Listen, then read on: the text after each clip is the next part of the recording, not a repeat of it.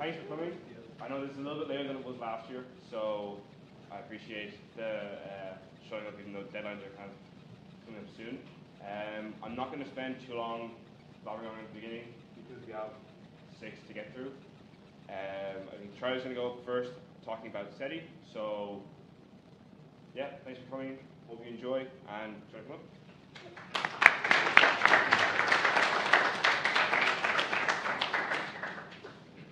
All right, uh, Berkeley SETI. Probably heard of it. If you haven't, that's okay. I'll explain real quick. Um, so, who are SETI and what do they do? SETI are the search for extraterrestrial intelligence. So, uh, you're talking your ETs of the world. Uh, basically, they scan space for radio waves, alien radio waves, or anything that is like a radio wave, communication, anything like that. Uh, specifically, the internship is for Breakthrough Listen, which is currently the largest SETI initiative. Um, and as I said there, it's searching for signals in the sky, right? So the internship is a research internship. It's 10 or 12 weeks during the summer. It, it kind of depends on how many interns they take on. Uh, so it'll be late June to usually late August. Uh, you'll be working under Professor Evan Keane, who is the head of ILOFAR, which is uh, one of the lowest frequency radio telescopes uh, in the world. It's brilliant. Um, and also a certified cool guy. So he's really great to work with. If you can work with Evan Keane ever, really recommend it. Uh, so what is the internship? So the first week of the internship is actually a week of lectures run by Berkeley, California. Uh, it's really brilliant. They'll give you, uh, I think it's about 10 lectures, Python, pulsars, machine learning. You're talking some of the greatest professors currently going, all working with Berkeley to deliver really cutting edge lectures on their research. It's so interesting. And then after that, from those lectures that you do, Evan will either give you data that he has been working on or whatever, or you can tell him, I was really interested in this, can I do a project on that? Um, and he will find a project for you to do basically whatever you're interested in related to SETI. Uh, we also got to visit ILOFAR, which is in Birr Castle. Um, I always say up the north. That is incorrect. I drove there and I have no idea how I don't know where it is. But if you look it up, you'll find out where Birr Castle is. Um, you also get access to ILOFAR and the SETI databases. So it's really interesting. They're like really uh, cagey about it, um, but it's very fun because you have access to all this data, right? Uh, it's extremely programming heavy. So obviously, if this is physics, most of you probably do like programming or you have a good uh, grasp of programming. It's a very programming heavy internship. Um, anything like Linux, if anyone has ever used Linux, uh, stuff like Docker, these are all really important. If you don't have that, don't let it persuade you not to apply. Still apply. But if you have any familiarity with that, mention it in your application because these things are really important. Um, you also get to attend all of the Trinity Astro meetings, uh, which are once a week. It's not actually a part of the internship, but Evan invites you anyway, and it's very fun. You also can go to lunch with all the professors if you want to. I don't know anyone who actually did it. So it's also 600 a week is the stipend, so it's a really well-paying internship. Um, so this is ILOFAR. Uh, she's very uh, not interesting to look at, but I felt like I had to put in. This is her best picture, I would say. Um, millions, millions of euros worth of, of technology right there. Once again, one of the greatest, uh, one of the greatest telescopes going for radio telescopes, right? Uh, so eligibility, eligibility and applications. So you just have to be an undergraduate or a master's student. Um, as I said before, programming experience, it's not required, it's really recommended, and the more you have, the better it'll look for you. Um, the main thing, though, is, especially because you have to understand, if any of you have ever worked with Evan Keane, Evan Keane is running, uh, he reads your CVs and all that. Show knowledge and interest in SETI. Don't just be like, uh, you know, oh, I'm really good at this, I'm really good at that, whatever. Show interest in SETI itself. SETI has a bunch of like, you have like stuff like SETI at home. Um, yeah, the movie Contact I have up there, and I, have said it already to someone else.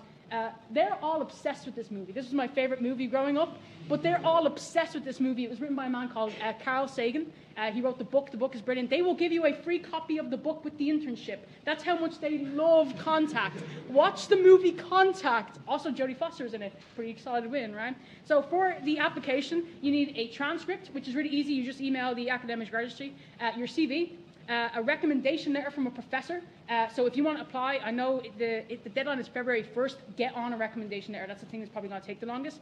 And your cover letter. I have the link there for applying for the internship. Right. So like I said, February 1st is when applications close. You don't have a lot of time. You have like what, like a week now. Uh, get on it though. So if you want to do it, like really get on it. Get on asking for recommendations. Professors are notoriously busy and cagey, uh, find a professor that you've worked with that will give you a good, um, a good like recommendation and talk to them about it. So, just as an example, this was my research project. I did RRATs. So, RRATs are, uh, it stands for Rotating Radio uh, Transient. They're basically pulsars that go quiet out of nowhere. And for a really long time, we never knew why.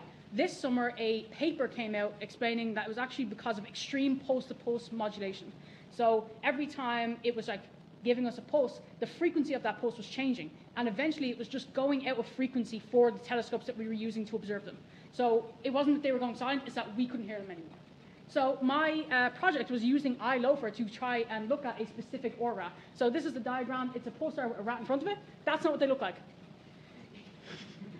That is a, an, artist's, an artist's interpretation, right? Uh, but there you go. There's my single pulse. We didn't find it, unfortunately, but it was a fun try. And uh, most of it was actually just analyzing pulsar data, which was really fun, really great. It's really uh, great experience. Um, so that was my personal research project. Uh, just to finish off, it's a great opportunity. You get great contacts. You're talking about like I, you know, people from Berkeley. Then you meet people from like their Italian uh, interns, all sorts. They're coming from everywhere, and you're put in this big.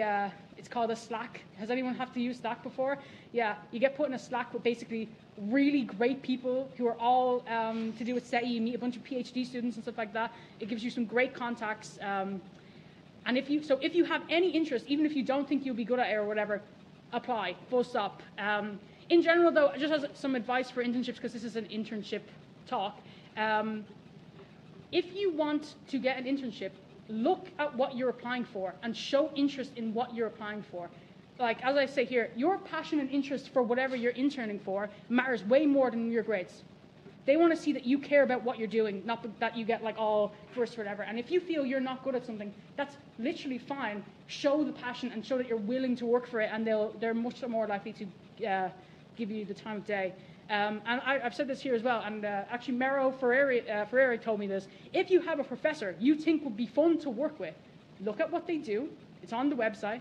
Email them and say, I saw that you work on this. I love this. Can I have an internship? And, and chances are, maybe they'll say no, but put it out there. Don't look for internships to come to you. Don't just look for, oh, internship at this place. Put it out there, contact professors, talk to them. You never know. You might get an opportunity. Uh, my email's there if anyone wants any questions about SETI that they don't want to ask here. Uh, good luck with any applications that you do, and thank you for listening.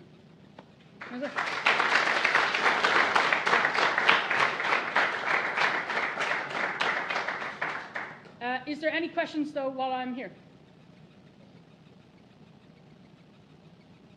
Brilliant. Oh, yeah. First years can't apply. I'm pretty sure first years can't apply. I think first years can't apply if you're in American, but I'm pretty sure first years can't apply uh, if you're Irish. So.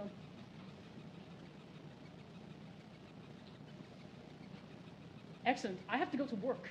So thank you very much for listening, um, and I'm gone.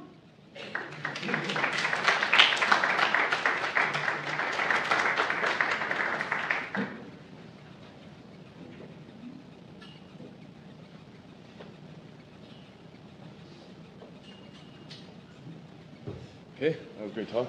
Um, am I the next slide? I am. Okay, so uh, I'm Alex, or Alexander, and last summer I went to Notre Dame, which is a university in the US, to do um, research in nuclear theory. So that's pretty cool. And I'm going to tell you about how you could do that uh, and uh, what it's like. So, uh, it's called an REU. So in the US they have these things called research experience for undergraduates, where each university has this thing for the summer where you know in any STEM field and then some other ones that are related to research. Um, it's nine weeks paid. You'll be there for 10 weeks, kind of. And there's about 22 participants. Um, I guess they try to enforce uh, gender balance, I think. Yeah. Yes. And because it's in the US, this is kind of the only thing that you do in the US uh, as an REU, I think, that I know of. Because the way it, it works is they fund un, un, um, undergraduates through the National Science uh, Foundation. So we're not eligible for that because we're not U.S. citizens. So the way I got funded was through the Naughton Foundation, uh, which own a building in, or sponsored a building in Trinity called the Naughton Institute. It's a big triangular shape And they give it to 11 Irish students, or a dozen anyway. And I think there's only one physics per year, so it's uh, pretty selective. and it's 8,500 US dollars, but as we'll see pretty quickly, um, it's, not as much as you think it is. And so, what, where is Notre Dame? So it's right under, like, underneath Michigan, and it's in Indiana, and it's this kind of super rich neighborhood in a pretty shitty town called South Bend. Uh, and it's, this is here. It's very beautiful and, and uh, nice to look at. Um, you'll be staying on campus, so I'm working there. Yeah. So ab- about the application process, if you're in third year, uh, unfortunately you won't be able to do this anymore. Um, if you're in first and second year, you can apply. I think the criterion is that you have to have at least one year of undergraduate left for you to apply. Uh, the application deadline is the 15th of December. It was the 30th of January last year, so know, unlucky. Um, there's a there's a Trinity point of contact. So because uh, it's for all Irish students across the, the island, each university has a point of contact for the for the fellowship. And I think for us, it's John Bowen in the School of Chemistry. Um, you'll need kind of the standard stuff, so a, statement of, of intent, so explaining why you'd be a good uh, uh, candidate. You need two recommendations, and you need a transcript. And because there's only one physics student, um, I guess make sure you get good grades. Uh, there's no interview process, so I just got an email uh, on the 12th of April, which is a little bit late because you have only one month to apply for the visa before flying. Uh, before flying, and it's not that quick. So basically, if you do get accepted, every time you get an email saying you need this, you just do it as soon as you can. Um, and visa expires, but you have a two-week, I think, um, window where you can stay in the U.S. and, and be a tourist. That's pretty cool. Okay, so as I said, you'll, you'll be living on campus. So uh, it's quiet because it's the summer. There's no one there other than RE students and some some of the, the research staff. And you'll be living in single-sex dorms. It's a pretty Catholic university. That's how it works during the semester, and it's also how it works during the summer. Uh, you'll probably almost certainly have a shared room. I thought that was pretty great. I had a good, roommate who was into astro. Um, he was great despite being uh, into astro. And um he was uh, a motivating presence in my room. I couldn't just go home and, and laze about. He was on overly full. Okay, uh, they have really good facilities because they're super rich. It's 80 grand a year to go there if you're an undergraduate, so they kind of have like the best facilities uh, available. Um, they have two indoor football stadiums, I think.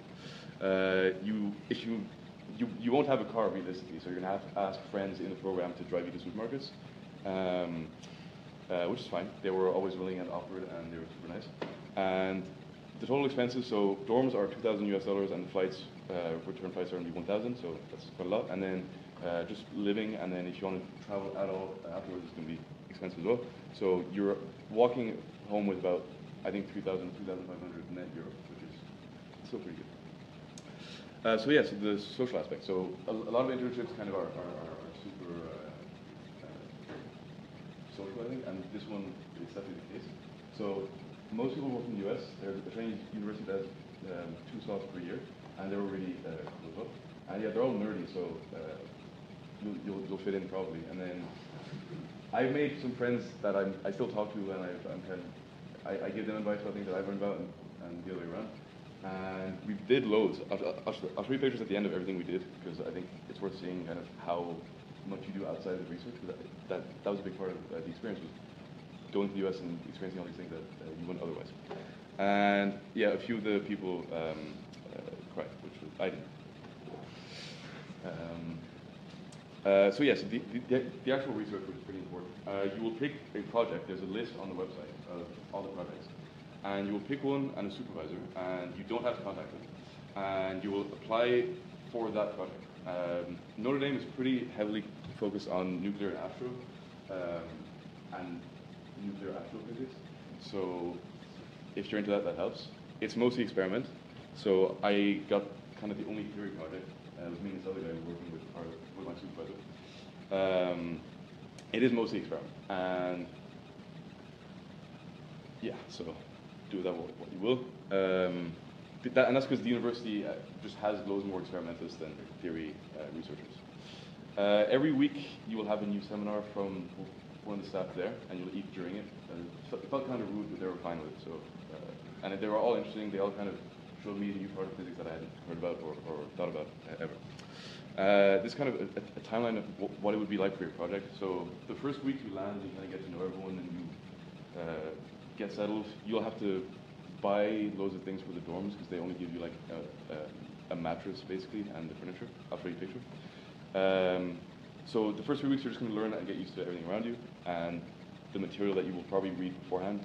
And then week weeks four to six you're going to be doing all the all the hard work and getting results hopefully. And then week seven to nine you'll be writing your first draft, hopefully getting your last results, um, and then also writing your final draft. And then the last week, five minutes.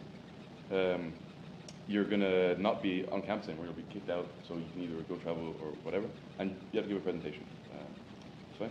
And this kind of just I'll go quickly for this. So this is kind of like a typical TP timeline. So first year, there's no there's no responsibility on you being an extracurricular academic, and then second year, you should be starting to do things to boost your portfolio um, if you want to go into academia or have an industry job. And in third year, uh, I think year is the most important because of how many in- in- internship opportunities there are and how much it matters for your uh, postgrad applications, which is the because you're gonna have your third year uh, transcript.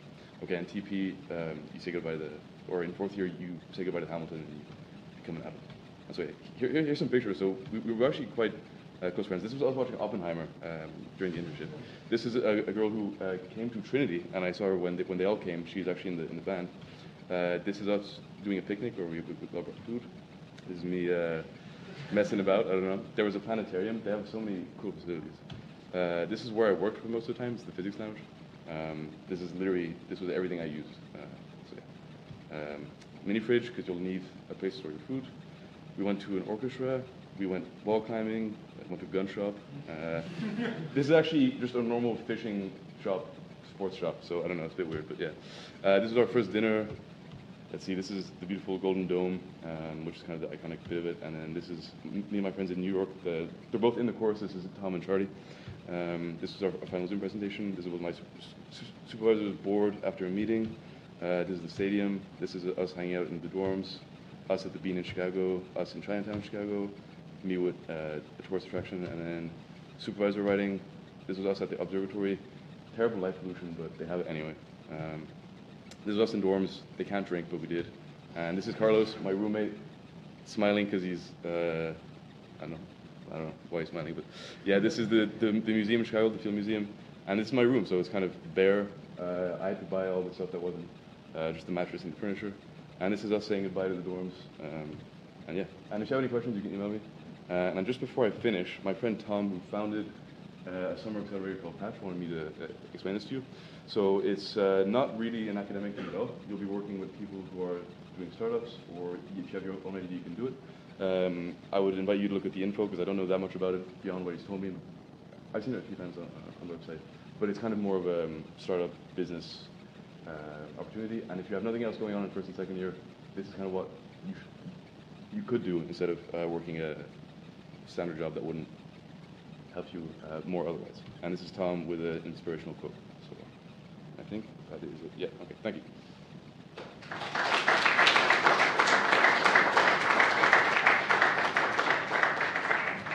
Does anyone have any questions about the internship or any? Yeah. Where do you find the list of topics? Uh, it's on the Naughton Fellowship website, so uh, I think if you look up Naughton Fellowship, there'll be a website for undergraduates. Anything else? Yeah. What was your research on? It was on nuclear theory, uh, looking at how isospin symmetry can uh, mess up um, approximation schemes for. So, yeah, I'm not going to get into much. It's, uh, if you email me, I can send you a presentation about it if you want. But it's it was the only theory project, and it was still computational. Uh, so Notre Dame has some high, high energy theory, but they weren't offering any REU projects, and they're not. Um, I guess they just weren't. Anything else? Also, if you have any questions about anything in general about TP, you can email me as well. Yeah. Okay, thank you.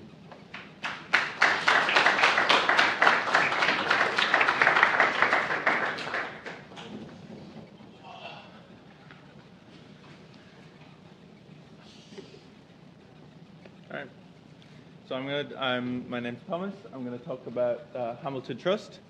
Uh, Hamilton Trust uh, is internships that takes place in Trinity under the School of Maths. Um, it's, uh, so I think there's an organization called the Hamilton Trust, and they uh, they've sponsored this internship so that, like, as the School of Maths put it, they can give a, a modest uh, stipend to, to the students doing it. So, what is involved in an internship? This is a six-week internship. Uh, it starts in like early early May or mid May. Um, projects are involved in, in, in individual projects or groups of two or three. Um, and the research project must be with a TCD faculty uh, member. Uh, yep. The, so you, how, how it works is you meet up just once a week. It was on a Wednesday, I think, last time. And you, you give like, so, uh, each week three people would give a talk on what their project's on. And if it was early on, it would just be like what they're going to do. If it was towards the end, people would be more talking about what they've done.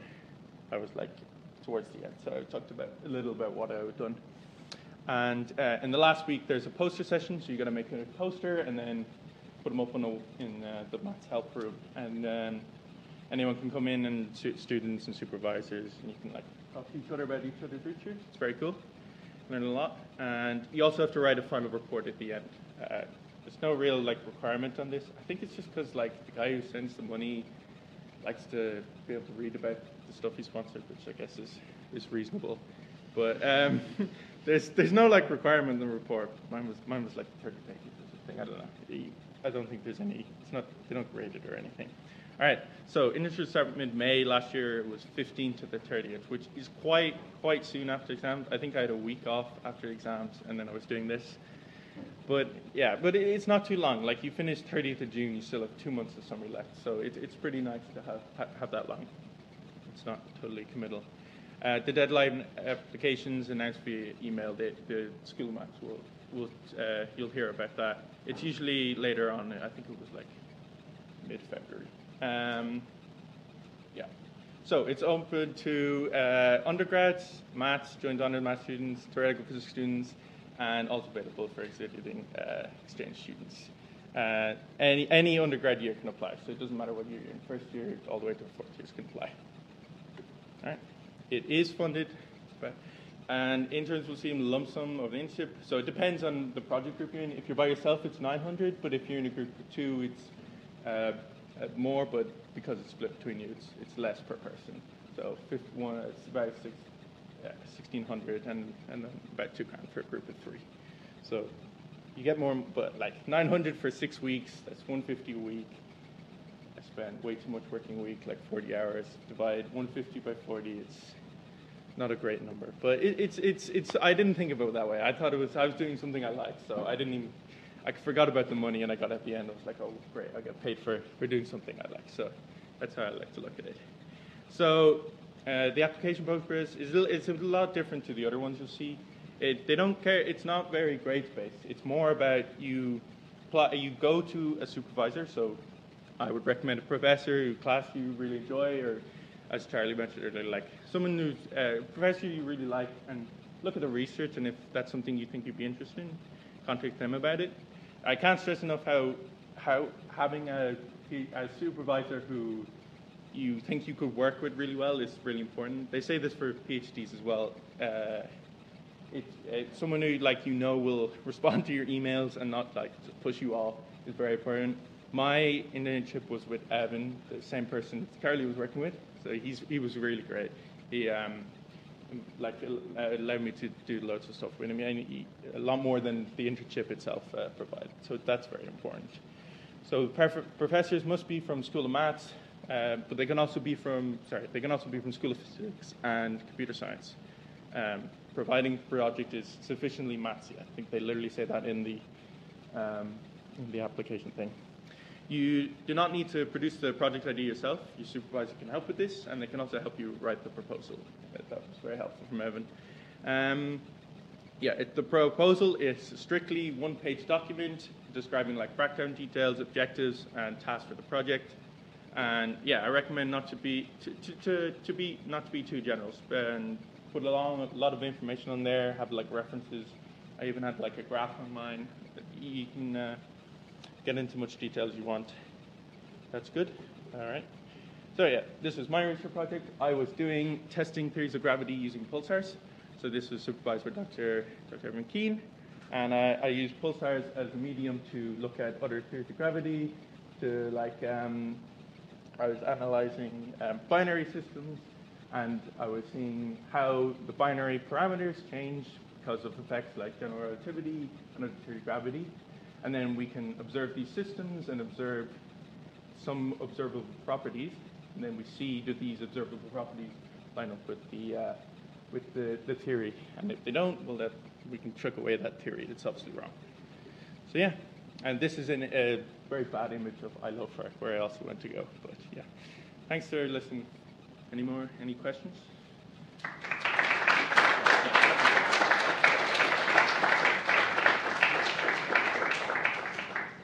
Yeah, and any questions?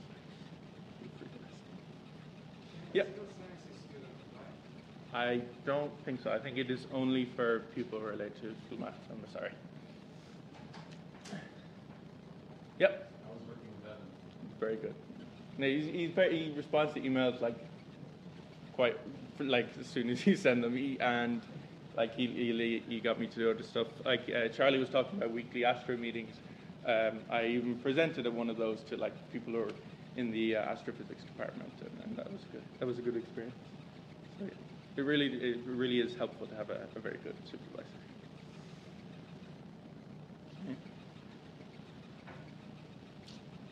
All right, that's all. Uh, thank you.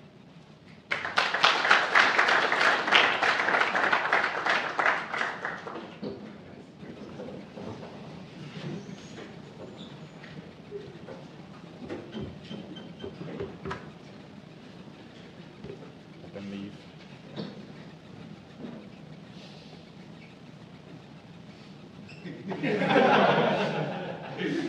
Thanks, guys. I'm Matthew. Uh, I'm going to talk about the Laidlaw Undergraduate Leadership and Research Programme. Um, yeah, uh, so far I've only experienced the research side of that, um, so that's mostly what I'm going to be talking about. Carl's going to come after me and uh, hopefully give a better overview having finished. Um, but yeah, so the main thing is uh, it's a two summer uh, internship. So uh, when you get accepted, uh, you're, you're in it for 18 months. Uh, you do a six week project uh, each summer. So the first summer, that's a research project, and that is uh, in Trinity, um, unless you have something else uh, organised abroad, but I'll talk about that in a second. And then the second summer, you do a leadership in action project, which can be kind of um, general working with an NGO unrelated to your research project, or it can be um, maybe applying some of the research you uh, did in the first summer uh, in a kind of more for the good of humanity kind of way, uh, or it can kind of be something that's based on your field uh, of study, be that maths or physics, and um, that's again uh, for social good. So that's kind of the main point of the second summer is that you're looking to uh, do something that is uh, making a positive impact on society. Uh, so as a TP or a math student or a physics student, uh, that usually means uh, getting involved in science outreach or um, yeah, general communication. Uh, sometimes it can be something more applied. Um, so yeah, I'll talk about in a second what, what I don't have organised yet, but I'm trying to. Uh, as well as the two summers, you also are signing up for uh, five lead days. Um, so they're kind of evenly enough distributed across the, the 18 months or so. Um, in terms of what they are, uh, they're meant to be kind of focusing on that leadership word in the title of the uh, whole program. And, you know, some people are definitely signing up for this internship or program not because of the research, and they're signing up because of the leadership. Um, and they want to, like, you know, they're maybe into uh, business or whatever and, you know, want to be a CEO. Um, but that's definitely not what the idea of the lead days is. It's definitely not trying to turn you into um, Steve Jobs or something. Uh, it's much more kind of about personal development and all of that because you know the majority of people doing the program are probably not going to end up being uh, CEOs or wanting to. So, uh, in terms of how many people get into it a year, it's 25 or so. Um, it's pretty elastic. They kind of choose something around that each year, and uh, it doesn't have to be constant. So, uh, yeah, it's not a competition to for a certain amount of places. It's really just whoever they feel um, they want to choose. Uh, yeah, and I guess if you're sitting here going, why would you sign up for a leadership program? There is the research element, and it is one of the better paid uh, research internships you can do for a six week period. Uh, so the total value of the scholarship is nearly 9,000. Um, so, yeah, each summer, 3,500 in your pocket, and you have uh, 1,900 across the 18 months to pay for uh, flights or um, say you have to get materials or uh, maybe some kind of hardware, software for actually undertaking your research. Uh, that's what the 1900 is there for, and you're definitely encouraged to, you know, use as much of that as you can because it's there for you to use. Um, so yeah, uh, I guess I should talk about my research project, and I guess maybe uh, more importantly, like the applying side of things. Well, first off, uh, if you're here and you're in third year, then it, this is not for you um, because unless you're doing a five-year course, which I don't think anybody here is probably doing, uh, you have to have uh, two summers left still being an undergraduate. So this is for the second years and for the first years next year. Um, and if you're thinking of maybe applying for this, uh, it's definitely time to get to get working on it uh, because the um, the deadline for signing up is in the next three weeks, I think. Uh, so what you have to do in that time is basically come up with a fairly uh, specific idea of what you're going to do for a research project. Uh, find a supervisor, um, and you, you can find that research project like with the supervisor's help, or just approach somebody and be like, "Do you want to help me with this?" And then you also have to have had a kind of preliminary look at what kind of leadership and action project you could be suitable for doing. Um, and the important thing is that uh, part of the program is that one of the two six weeks has to be abroad. So unless you've already reached out to somebody uh, in a different country who's doing research that you'd like to get involved in, uh, that's going to end up being the leadership and action uh, side of things. Um, so yeah, so m- most people end up doing the research in Trinity and then going abroad for leadership and action. Uh, then there are like four or five leadership and action projects that are kind of um, you know centrally organized that you can kind of sign up to something that's already been organized and kind of join in. Um, but you can also kind of go out on your own and say to whoever you want to, you know, I've got money and I want to come help you. Uh, will you take me in? Um, so that's kind of a, a bit of an advantage, I guess. So like you can look at the leadership in action, and I think you know maybe some people might be thinking, I want to do uh, research at, uh, in the summer between second year and third year, and then again in the summer between third year and fourth year.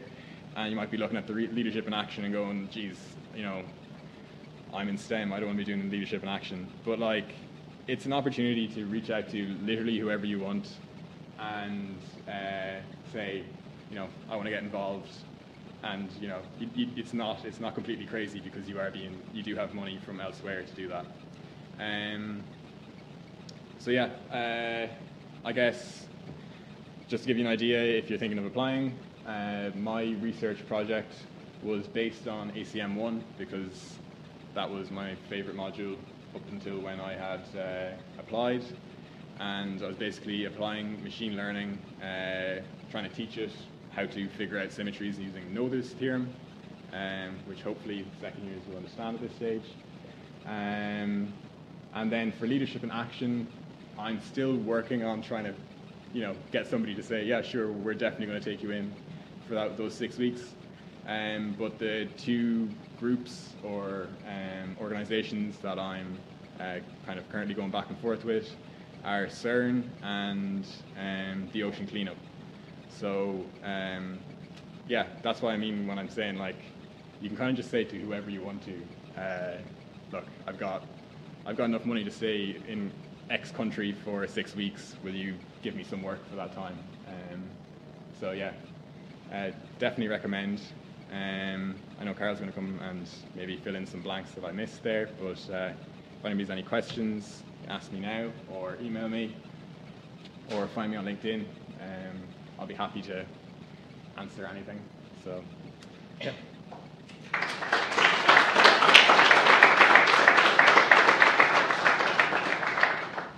Questions?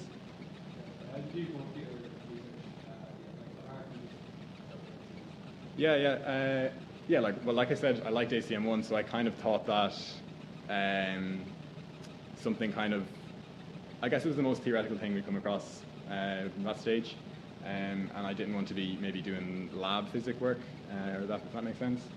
Um, and I also knew I had a certain amount of ability with Python, so uh, I took it as an opportunity to learn about machine learning better. Um, and yeah, I'd done intro to programming with Kirk Sudhalter uh, in first semester, second year. Um, so yeah, I was kind of, in terms of coming up with a specific uh, project, uh, I was kind of going through um, classical mechanics um, papers and kind of seeing what are people actually doing with classical mechanics these days. And a lot of it was like, um, you know, rigid body uh, control and that kind of stuff.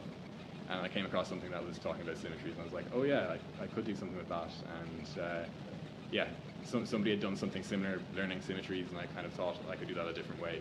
So um, kind of reapproached the problem from a different point of view.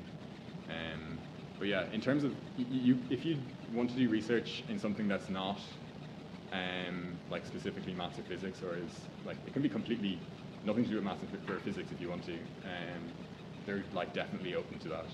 Uh, one of the big things to emphasize in all your applications and I guess any kind of interaction you have with interviewers is like what the impact of what you're doing is, which is kind of like was nearly the challenge when you're like doing uh, something theoretical with uh, machine learning and symmetries. But you know you can always create a chain of effect where it's like you know we get better at finding symmetries, we get better at computationally modeling things, we get better at making life-saving drugs, and then people can't really go, oh, that's not that's not impact.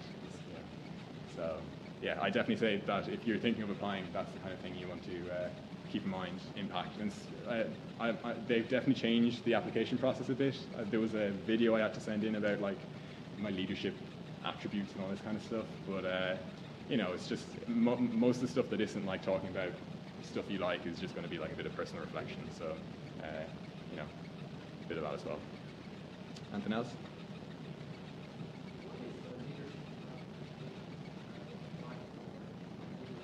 What's the what? Oh, uh, you mean in, in the in the uh, application?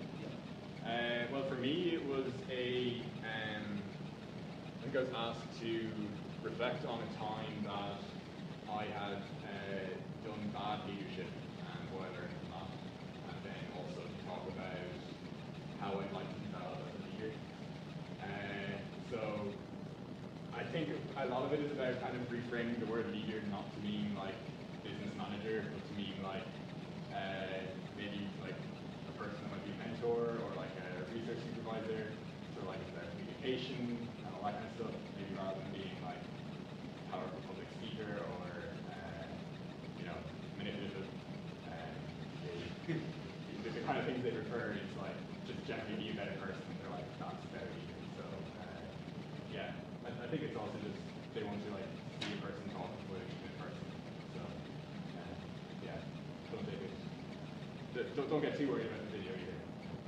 Yeah. And uh, yeah, the people organizing it are great as well. If you ever uh, yeah have any problems or questions during the, the program, they're always open to help them. So yeah, overall, I think it comes up okay. So, Anybody else? Okay.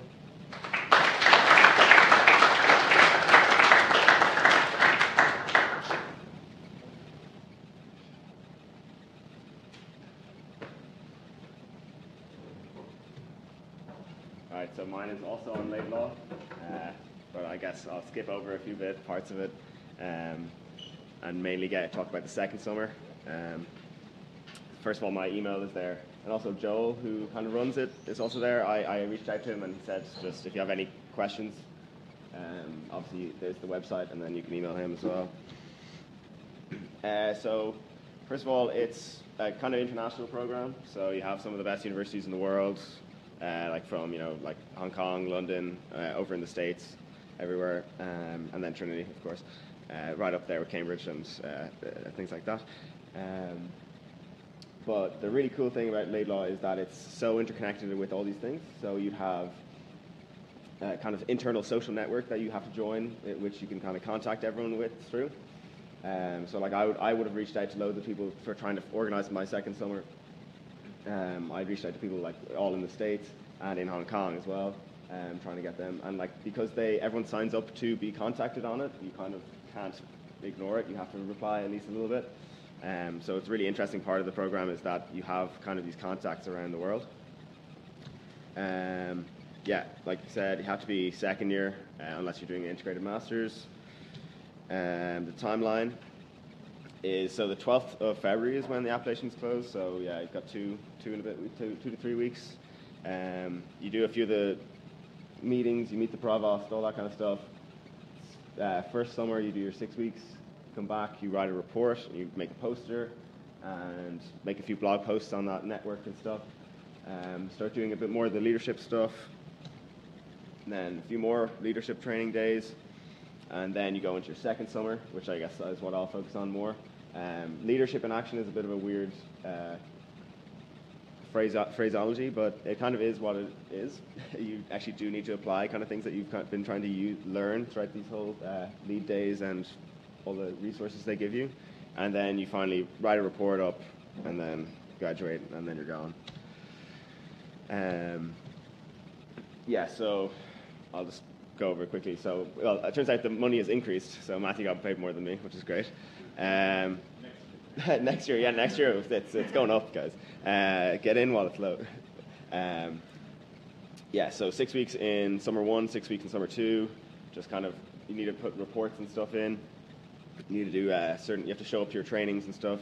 Um, and I think they actually make you pay it back if you kind of leave halfway through. So uh, don't do that. Um, you do get yeah seven thousand uh, plus then that they do travel funding. So I know a lot of people went to conferences and stuff. Uh, I think someone went to Spain for the weekend just to go to some like uh, I don't know rectifier conference that happened to be in Spain at the time. Uh, you know, all these kinds of things.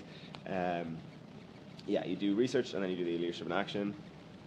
Um, yeah, so the research, I guess we've already kind of talked about it you don't have to come up with the research yourself.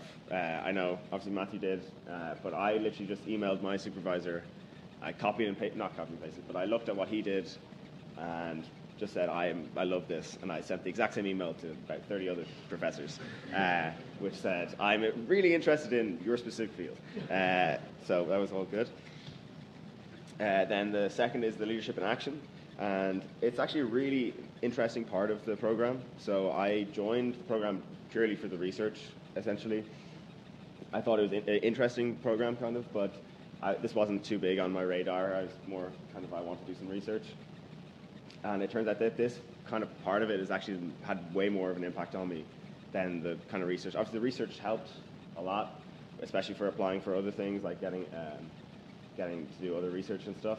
But the Leadership and Action project like really kind of made me think a lot more about how I don't live in like such a science bubble, like how you actually have to exist in the world and kind of um, if you want things to change or want things to do things, you kind of have to not just sit there and be like, oh, I just need to think and do stuff. You actually have to, you know, use your leadership skills. Um, yeah, uh, like we said before, there's three ways you can do it central, which is kind of like they organize it for you with a kind of bigger company or a bigger um, NGO. And so then you'll actually be going with maybe 10 to 15 other scholars from all of the other universities um, to a certain place. Usually, it obviously has to be has to be away at least one summer. So they go to like Fiji, all these sorts of things. There is a bit of a voluntourism vibe sometimes. If you're not very comfortable with that, you can just organize your own one. Um, and like Matthew said earlier, it's great. You can just go somewhere and they give you a certain amount of money and they say just do something you think would be good And kind of thinking about what you think would be good really kind of makes you assess kind of your priorities and your kind of career path as well. And then the other, the last one is that if you do research in a specific thing, you can then and apply it in, in a certain way. So I don't know if you know astrophysics or you know uh, ACM would have very much uh, applications uh, that you could do, but you never know. You might be able to swing it. Um, so you just can just apply your research. This is mainly for people who do like like medicine or polit- politics or economics and stuff. They can kind of go and do more of those projects. Um, but you know, you never know if you do something with solar cells. Maybe you get to go somewhere and do that. I don't know. Um, yeah, funding. Uh, and then yeah, my experience. So if anyone can guess who my research supervisor was, uh, it was Evan Keane. Uh, so he just doesn't do any work. He just has all his little. Uh, no, uh, um, no, so Evan was my supervisor as well. I just emailed him, and I actually was interested in his research, but uh, I had to hedge my bets with all the other professors. Um, I looked at the just like solar radio mission uh, using ILOFAR. It is a cool um, place. It's a cool uh, telescope, and it, especially when it's got the whole uh, you know connection to the rest of the LOFAR system. Um, I also had to sign something saying I won't mine Bitcoin on the computers, uh, just like Charlie did. Um, I learned a lot about interferometry and stuff, so uh, which was actually on my capstone. So that actually helped me a lot, especially when I was like, you know, I had really good like kind of resources to go back onto it at the start of my capstone. It was a really, it's a shorter kind of research. If you don't want to put your whole summer into research and maybe you want to like work and make money rather than just doing research, you know, it's kind of nicer having six weeks. And then, yeah, it really helped me for my capstone and like for applying for masters, PhDs, that kind of stuff. Just being able to say like I've done research uh, really helps. So this is an, another few photos of Birr. That's like uh, the Great Refractor or Great Reflector. Reflector. Uh, uh, I think Leviathan was its like nickname. Uh, biggest telescope in the world for a very long time. And then that's the uh, geez, that, that has the nuclear, um, the atomic clock in it for all the the timing of the uh, different interferometers. So you need to have them very well timed and stuff. And you know, I was down in Birr for about two weeks. Uh, Laidlaw paid for my whole uh, trip down to Birr using my travel funding. I got like uh, I got travel transport down, and then um, they pay, like rented Airbnb basically for me, which was great. Um, it was really cool, nice place. Not not so much to do in Birr, but it's beautiful. It's really nice, um, and it's fun. Yeah. And then my second uh, summer, I guess uh, this is more like something that I can actually talk about that you haven't heard before, um, is your leadership in action. So I did it with the World Science Foundation, who run World Science Festival, and it's run by Brian Greene, who you probably all know, um, string theorist, kind of, uh, you know, author, string theorist guy. Um, I, yeah, I went to New York, and I was helping teach like extremely gifted kids uh, science uh, which was an amazing. Like, and then we, we so they're from all around the world. We bring them to New York once a year, and they get to meet all these professors. They do all these classes, and I get to meet the professors, which is also a bonus. Um, so I got to meet two Nobel laureates, John Mather and uh, Jim Peebles, which was insane. Um, and I did like yeah, did a few other things, and they I might go back to New York in the summer, which would be cool. And yeah, I, I just like the leadership in action project was amazing in the fact that I just decided to email like hundreds and hundreds of people trying to do something in science outreach, and I got it. And you could just and they, it's so much easier for them when they don't have to pay you, when they don't have to do all these sorts of things. You just ha- you just show up to them and you say, I want to do this. Can I help you with the goal of your organization? And yeah, it was amazing.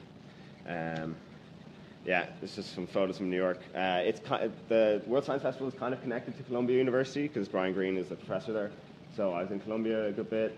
I saw uh, SR-71 Blackbird, Black, Blackbird, pretty sick. I watched Top Gun on a, on a carrier ship. Um, this was the view from the office uh, on the top left, which was insane. Um, that's John Mather. So I helped him kind of make a, a course to present to the kids. Um, and these are like in, in like very high level courses. Like most of them have done like multivariable calculus by the time they're like 14 or 15, uh, which is like absolutely mental. Um, World Science Festival, yeah, that was all stuff. Columbia, uh, just being in New York was amazing. Like being able to have, you know, Laidlaw pay for my flights out there, and like, yeah, just it's just like if you can find somewhere in the world and you can kind of convince someone that you'll help them, it's pretty amazing. Um, I got to see Manhattan Henge, which was sick, uh, and then a lot of people were also seeing Manhattan Henge at the time. Um, I made a few presentations at the World Science Festival. The world ended in New York, and yeah, that was basically it. I got to do research, got to go abroad, and I got to like genuinely benefit, like, well, I, I in my opinion, benefit the world by like helping these kids who may not have access to the kind of cutting edge uh, education that they can get through this program, uh, through the uh, World Science Festival. Um, yeah, there's like stuff on the website about how to find supervisors, um, and yeah, the LIA really made the most impact. This is what you need for the application: a form, the video. It's a bit awkward, but you just have to do it. Um, proposal, LIA uh, proposal, and then uh, um, a letter, probably from Evan Keane, it seems. Uh, just, uh, yeah, and they kind of don't really, they won't look into your project as much. They take it from your supervisor. Like your supervisor is kind of staking their reputation on the fact that it's one, like a proper, like real project, and two, that it's feasible. So it's not, um, they won't ask you very specific questions about your project, but they will look a lot more for the kind of potential for impact, growth, leadership side.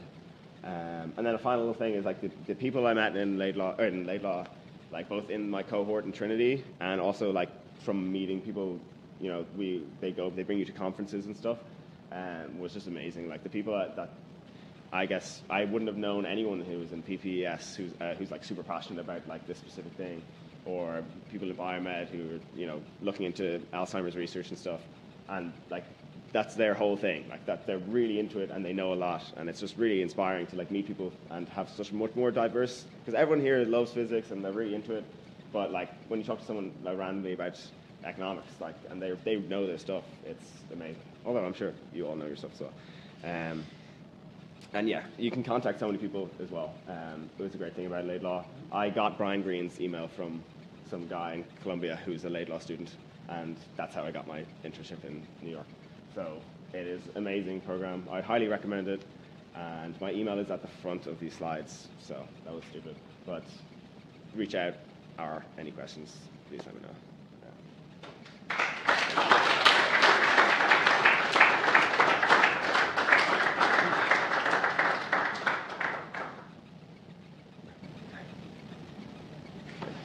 Thank you.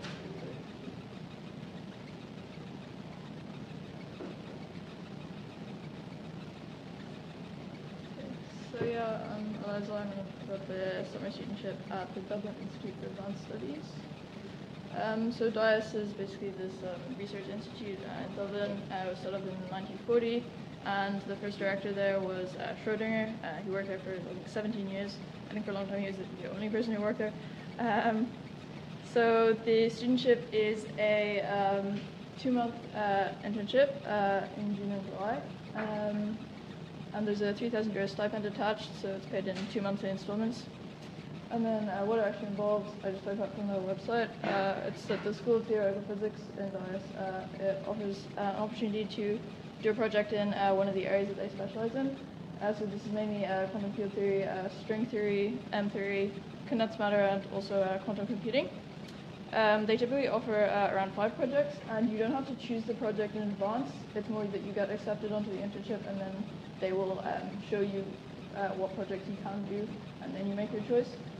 So, for example, last year they had uh, one project in uh, quantum field theory, uh, two in string theoretic black holes. Uh, the one above was the one I ended up doing. Then there's also uh, one on M theory, and then one that was more of a science communication one. Um, so it had more outreach and making a website and stuff, and that was on the fundamental constants of nature. Um, so what's actually involved? So it starts with uh, an initial session uh, where you'll sort of just meet the other students and the facilitators, and also the uh, potential supervisors will give um, sort of overview of their project, um, and you can ask them questions, and then after, also afterwards uh, you can sort of just ask them more informally. And uh, in my experience, they were all really happy to like to go into detail about what their project would be. Um, and then after that, you have about one week to uh, think about it um, and to look over. They'll send you a PDF of, of, with like more details of the project. Uh, and then you uh, give your preferences for what you want to do, and then allocate them based on those. Uh, so last year when I did it, there were 12 students doing the internship, and everyone got their first preference. Uh, but they were all group projects, so between two and four students uh, worked on each project. Um, so uh, once you've made this choice, um, you'll have a, a weekly in-person meeting with your supervisor and the rest of your group if you're in a group. Uh, and there's also a weekly meeting for all the interns, um, so that you can talk more about like organizational issues or admin stuff. And also, uh, like, that's good because you can meet with people from other groups, and there's a more social aspect maybe. Um, and then also you can go to the weekly seminars at DIAS. Uh, they're very advanced, so I'm not sure many people actually went to them. But um, yeah, if you want to know about these sort of cutting edge uh, research areas in theoretical physics, they could be interesting. Um, and then, yeah, at the end of the internship, uh, you submit a report. Um, so everyone individually submits their report, and then also your group gives a presentation um, at DIAS to the other students and to some of the faculty there, and there's also a Q&A session after that. Uh, so they put all the reports on their website, uh, so if you just uh, go to the summer studentship se- section, you can see what everyone was doing last year. Um, so yeah, what I worked on, um, so I was in a group with um, three other students, and we worked on um, a project uh, in string theory that was based on uh, counting black hole microstates. Uh, so what I was doing mainly for the first part was really just doing background reading on string theory and supersymmetry uh, and black holes and things like that because I didn't really know anything about it before. But I think everyone is really in the same boat. Most people don't know much about those topics before they start. And then um, the rest of it was basically writing code in Mathematica, which was uh, sort of calculating these Fourier coefficients of modular forms. And then these would actually give the number of black hole microstates uh, in the string theory. So yeah, the plot there is uh, of one of the counting functions uh, in the complex plane. And then that's also the title slide from our presentation. Uh, so it was mainly on the modularity of black holes. And then also uh, one of the students in my group was a pure math student, so he was more interested in the number theory of it all. So he was uh, looking into Ramanujan's uh, tau function. So it's sort of, um, you can really tailor your project to what you are interested in and uh, yeah, your specific tastes. Um, so yeah, why would I recommend it? Uh, the first um, thing is obviously just gaining the research experience uh, in really interesting areas of theoretical physics. So the, the work they do there is really really interesting, and um, these are sort of examples of what the other groups were doing. Um, and it was actually hard to choose between the projects because I, I would have been happy to do any of them really. Uh, so there's the, there was sort of one of them looking at changing the speed of sound and what, what effect that would have uh, on the universe. Then there was one of them, the QFT one, was looking at the spectra of um, HGs um, for fermions which were not Dirac fermions, so sort of uh, non-standard. Then there was also the uh, lattice simulations for M theory. So yeah, it was really interesting to see what everyone else did, and everyone uh, seemed to end up with a great project. Um, then another good thing about it is that it's uh, you can collaborate with students from other art universities, so you can be in a group with them, and it's uh, sort of good in that way. Um, and then yeah, finally, you could potentially continue with your project after the conclusion of the internship. I know that a lot of supervisors are happy to do this, uh, particularly if you find novel results, you might want to continue and maybe even get a publication out of it. Um, so yeah, I would definitely recommend, recommend it for those reasons.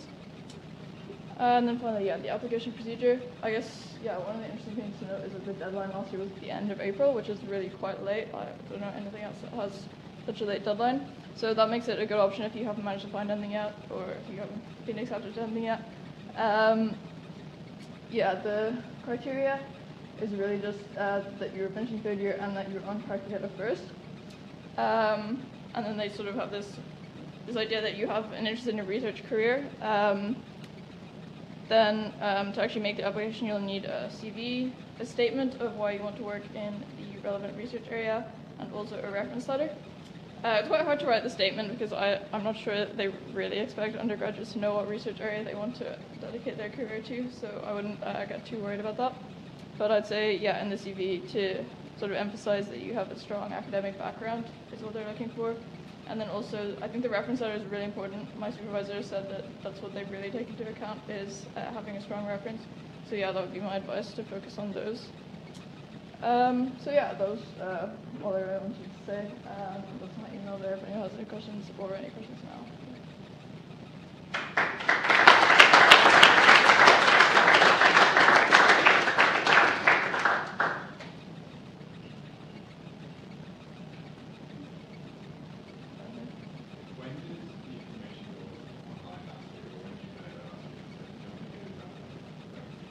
Yeah, there's yeah because the deadline is so late. I think it was only really the end of April. Uh, so I found out that I didn't get into the Hamilton, and that was the only thing that was available. So then it was like quite good and all right. Yeah. Um, yeah.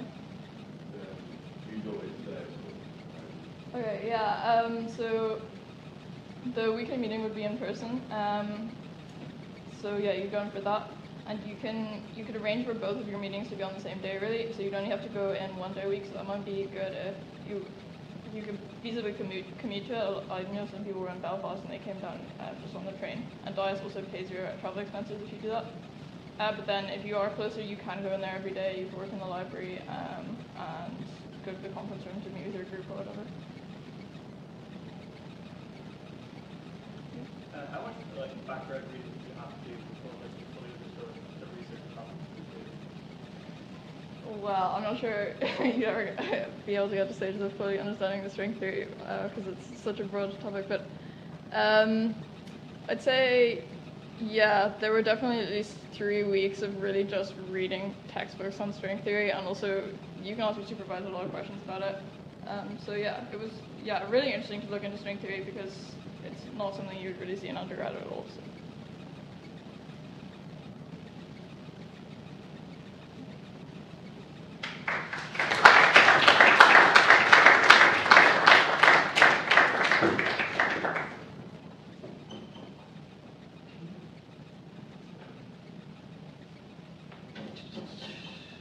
Cool.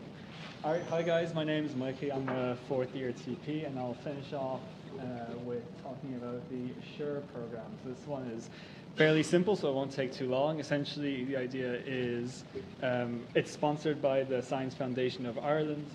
So what you do is um, essentially in the School of Physics, if you have some lecturer that you get on with very well, they might be offering a project uh, and you can apply for this. So the important details, it is paid, so it's uh, 2,000 euro over the course of uh, 10 weeks, about you know 200 euro a week. That's probably on the lower end. Uh, at the very end, you'll see like a summary of um, of all the internships mentioned so far. But you know, uh, depending on how hard you're working, that could or could not be worth it for you. Um, last year, anyway, there was nine placements available to anyone in the School of Physics. That includes TPs. Um, as far as I knew, it was probably about three or four TPs. Actually, no, I'll say about three TPs got in, and then the rest was physical science. Um, so, as I said, it's during the summer. Uh, the dates of starting and ending may vary, obviously, depending on your lecture, and essentially, you just need to get good results in second year.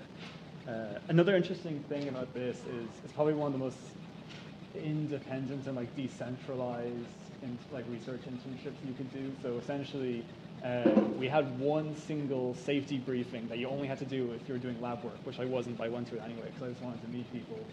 Um, and apart from that, we had no correspondence at all with anyone else. So pretty much, you did this one thing, and then you just went straight into doing your research with your supervisor. And then when it was over, nothing happens. It's just over then.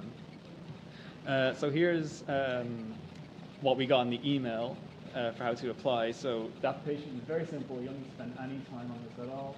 Um, essentially, you'll be given a list of loads of projects. You just have to go through, see which ones are interesting to you, uh, and then just say why you why you want to do it, and then what you will get out of it. Uh, so you probably have about a month to think about it. So we got our first correspondence at the start of February, and the application was one month later. So that's plenty of time. So you know, keep it in the back of your head. It might be something to fall back on. Um, random. Another thing is that if you're in the School of Physics uh, in your third year, because this is actually for third years, you'll have to do this module called communications, and then during February you have this assignment where you essentially just have to do a literature review of something you're interested in. So if you want to do like two birds, one stone, uh, just choose a supervisor you're interested in, uh, look through their past, you know, whatever they were working on recently, and then you can just write about that in your module. And then, you know, since this is done by School of Physics, then you can say, oh, I'm, interested in this. Uh, I'm interested in this project, and you know, you can say, oh yeah, I've already written about this in this in this module. You know, that might be something that could help help with the application. Uh, another thing is that uh, there's less competition if you're a TP, so it just is what it is. I'm sorry. Um, okay, so here's just an example of some projects that came up. I would say about half of them, actually no, less than half. I'd say probably a third of them were some way computational or theoretic. Um, so obviously any anyone that was involving anything analytical whatsoever, all the TPs kind of just uh, gobbled them up, and then the rest were just um, experimental pretty much. So uh, I'll be honest, I didn't read at all anything about the experimental ones because I just wasn't interested in it. Uh, I chose this first one, which was with Stefan Hutzler. So if you know anything about him, he loves packing essentially. Uh, and it was computational in nature, right? There was a little bit of analytical work, which was kind of like geometric, and it was mostly just doing Python simulations. Um, but yeah, so also, so myself did it, and also Luke Hodgkiss also did a theoretical one. So if you're interested in what doing one more theoretical project would be, you could ask me or ask Luke. Uh, Luke more so than me. His one was more theoretical than mine. Um, and of course, I've listed. Um, I just went back last year. I've listed all the uh, supervisors that were there. So if you see these names and you think any of them you'll get along with, then maybe have a look out. They might be offering one or more uh, projects. Uh, I've also uploaded the PDF of all the 15 projects on the Discord, so you can have a look through those, see if there's anything interesting. But essentially, you can kind of predict what's going to come up. If you know your lecturer well, you probably know uh, what their current research projects are anyway. So you know, just essentially, um, just get to know your lecturers, and then you know something might come up. Uh, and just to briefly explain how, how my research experience went, so uh, compared to everyone else, I think I had probably the most hours out of anyone. I'm pretty much spending like almost up to 40 hours a week in person, and I was having essentially daily meetings that would last for several hours. Um, so I know, for example, Luke Hodgkiss, his one was mostly online, and he was putting in something like 20 hours a week. So again, this is something you would have to think about beforehand. You know, what is it like working with uh, various uh, lecturers in the School of Physics? Um, and what I was working on was a specific model for um, soft sphere interactions. So actually, if you look in the corner, you can see these spheres are actually getting deformed because uh, they're getting sort of squished together. And then we're trying to see, well, would uh, the different patterns you get with this soft model interaction be different than what we see experimentally with hard spheres? So, you know, I got a lot of data. I wrote a simulation. Uh, I was also helping out one of his PhD students uh, to make his uh, Python more efficient.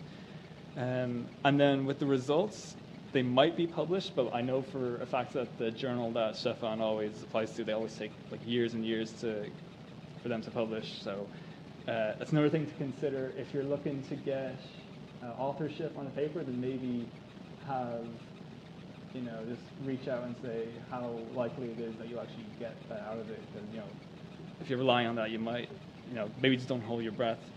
Um, so other skills, right? So I had to do group presentation just internally, essentially with uh, his collaborators. So it was my, it was Stefan, it was uh, Matthias Mobius for some of the meetings, and then plenty of uh, Zoom meetings essentially with collaborators abroad.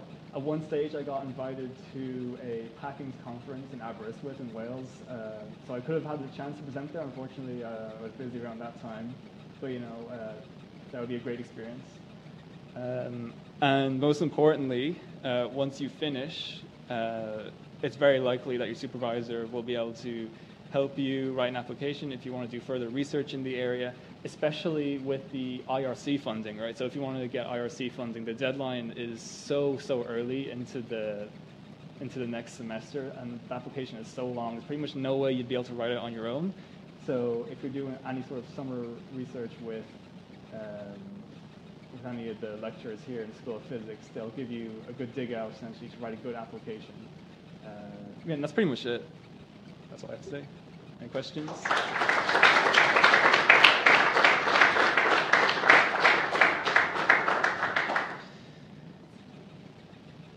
Yeah. So this is for third years. Yes. Um, it's.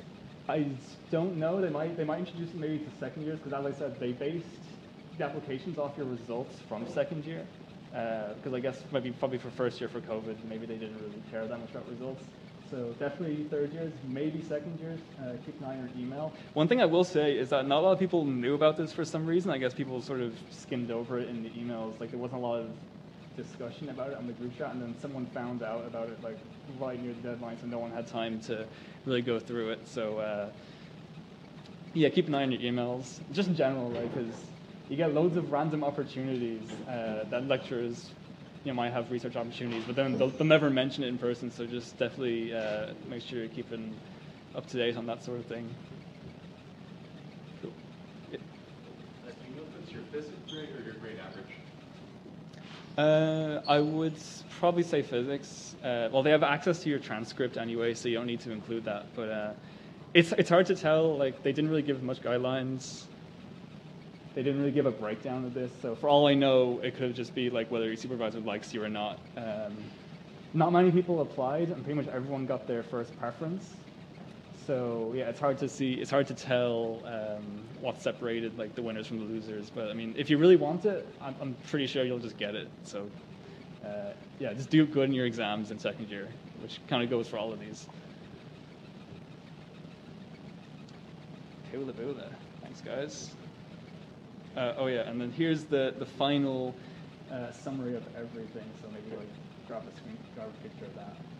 Actually, yeah, on that note, there's um, these are a lot of them not up to date. Um, just FYI, uh, all them made from last year, and there's not a lot of information put in. Also, if you hit the next uh, thing there, anything that you can find um, is on the website. So I would look there for any update, update information. We'll probably put what uh, Mike was saying as well. Um, yeah, and for people who are asking about this being recorded, it is. It should be up in less than a week or so, and the internships and the slides will be sent out as well. So, thanks to Mikey, thanks for everyone, and I'll let you guys go.